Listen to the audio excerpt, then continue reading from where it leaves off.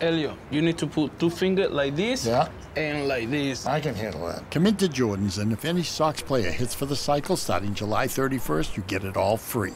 Perfect. Perfect. Experience the cycle at Jordan's.